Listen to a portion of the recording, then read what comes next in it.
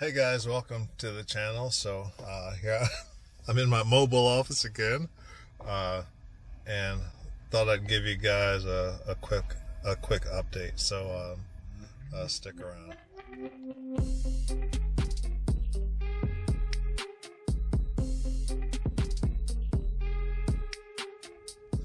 So I've got a whole new look. Can anyone tell what's different? Uh, so yeah, I changed my look up. I decided I hadn't seen my face in in a couple years, so um, I'll, I'll try it out. So I'm going into final exams for the spring semester, and I've got three to go. Hopefully, I'll have one knocked out uh, by the time I post this. So I don't know if you remember, but I don't even know if I told you what I took this semester, but it was antitrust law, which that class is a bear unless you're really into economics. Um, that course may be the bane of your existence when you get around to take it, if you take this law school path. Uh, and also trade secrets, which isn't so bad, which uh, brings me to another uh, topic, uh, and that is the two credit courses. So that's a two credit course, uh, but uh, I've been a little bit this so I I find that I've gotten into a habit as far as my expectations go, um, and with two credit courses, and it, it took me this long to kind of get past that, and that is that. Um, the two credit course doesn't necessarily mean it's going to be half the work of a four credit course. And um, mentally, you kind of set yourself up for for not really failure, but for disappointment if you think that because a class is only two credits that it's going to be a breeze. Um, I suggest to you um, that you approach every course just in the vacuum of the course itself and apply yourself fully. And remember, you know, if you take this law school journey, you're there to learn and and uh, and accumulate skills and be a good attorney, hopefully. So you're going to find that. Um, so yeah, that's all I'll really say about that. Just uh, manage your your expectations and uh, make sure you're getting out of it all that you should be getting out of it. Um, so my other final is in wills, trust, and estates, and that one I'm hoping to knock out this afternoon or later this evening. So uh, hopefully I'll be finished with this. So time flies, and it's really, you know, I when I started this thing, I didn't expect it to go so fast. Um, and you know, if you're if you're still on the fence, if you're thinking about doing this, I would say, uh, obviously, just jump in. Uh, if you're worried about being finished when you're 40, 45, uh, 60, whatever, um, you're going to be that age anyway. So you may as well be that age with with the law degree or or whatever other kind of degree or goal that you're that you're going after. So I was looking at my curriculum and I realized that um, after the summer semester, I will only have one required course left. And that's not to say I only have one course left to finish the whole program. That's to say that um, there are certain courses that are required. Um, and I'll be I'll be done with those. Uh, I'll only have one to go in the uh, in the fall semester, which you know, looking back at when I started, which seems like last week, to me that's just amazing to have made that much process, that much progress, and uh, you know, it's just a grind. It's a grind. It's a daily grind, and you know, especially for students like me, and probably a student like you if you've been uh, drawn to this channel where you have a career and you're you're doing work and school and for me that that seems to be about all I do work, and school. I mean, literally, I, I get up and uh, I'm still uh, working completely on telework, and that is nice. It saves me so much time on my commute. But um, I've kind of been drawn into this really sedentary lifestyle. And I realized it, I mean, I knew it uh, because what I'll do is I start work and and I'll I'll do my you know however many hours I work and then I don't even get up. I go straight to studying until bedtime and that's that's a daily thing. And the thing that I'm realizing after I stepped on the scale yesterday and uh, and cried for a little while, uh, I've picked up a few pounds, and some of my own advice I haven't been following.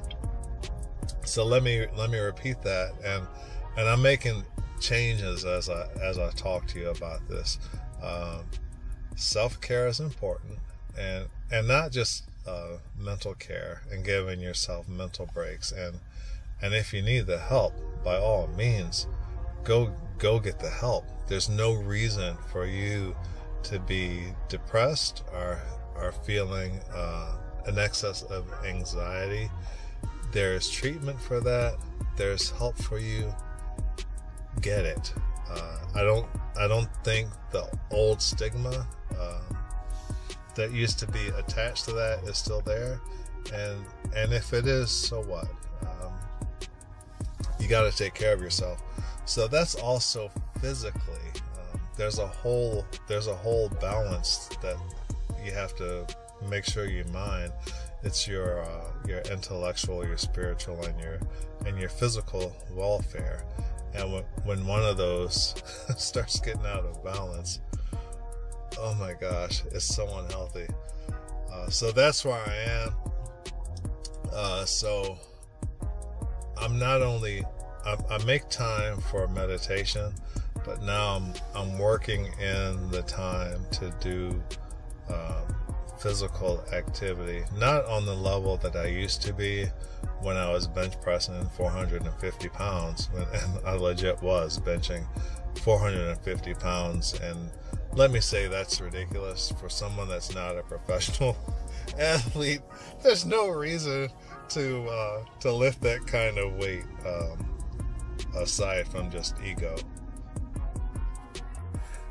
So here's the main point of that: your your self care has to be intentional. You have to put time aside uh, for your mental well being. Uh, I choose meditation.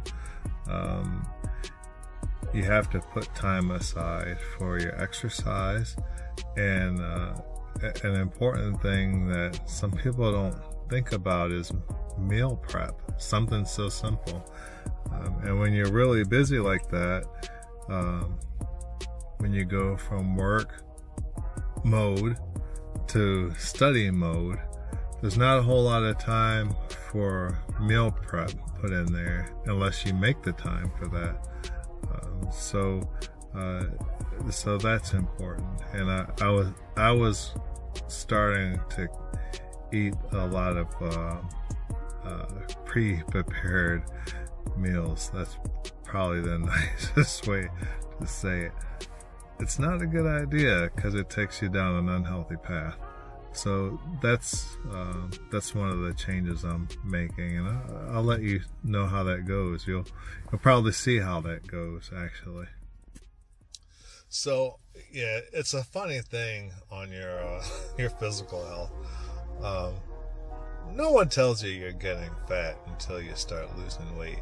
You ever notice that? Uh, like, hey Douglas, you're looking good. You look like you lost some weight. What? I was fat you couldn't have told me that while I was super fat. Just love on me a little bit and and uh, tell me things I need to know, not the things that I just you think I want to know. Uh, but that's just me. Some people aren't ready to handle all that truth. Uh, so uh, yeah, uh, I'll stop that. So one last thing, I feel like I'm kind of a veteran of this now, and uh, and I can dole out a little bit of advice, and and this is something that I wish that I had done at the start, uh, and that is um, very carefully picking if if you if you do things electronically like I do, you have to very carefully decide on your note taking app.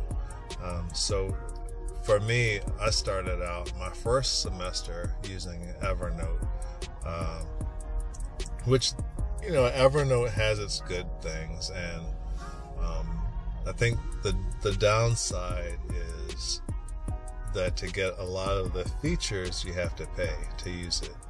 Um,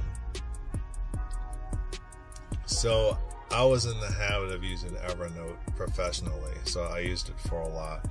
Uh, but then talking to some classmates, a lot of my classmates were using OneNote by Microsoft. Now, I'm not endorsing either of them, and they're certainly not paying me. Um, but I'm, I'm not going to lie, if they were paying me, I, no, I'm just kidding. I, I wouldn't. That would not be, um, that wouldn't be genuine. And I want to be genuine with you guys. So the note taking act that app that's worked the best for me is Evernote. Uh, not Evernote. Oh my gosh. Um, the note taking app that has worked best for me is OneNote. Um, I can use it on the PC and across all my devices, including my iPad and and my Samsung phone. So that's really nice. And and the really nice thing is the price of OneNote, which is free 99 without the 99.